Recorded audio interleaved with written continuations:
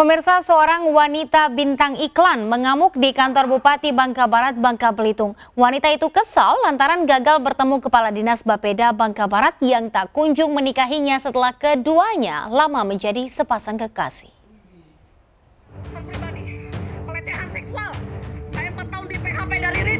Kantor Bupati Bangka Barat mendadak heboh setelah didatangi wanita bernama Elida yang mengaku punya hubungan asmara dengan Ridwan, Kepala Badan Pendapatan Daerah Bangka Barat. Elida yang pernah menjadi bintang iklan ini naik pitam lantaran mengetahui Ridwan kabur melihat kedatangannya. Menurut pengakuan Elida, Ridwan pernah menghamilinya dan berjanji akan menikahinya secara siri. Namun hingga empat tahun lamanya janji tersebut tak kunjung dilaksanakan.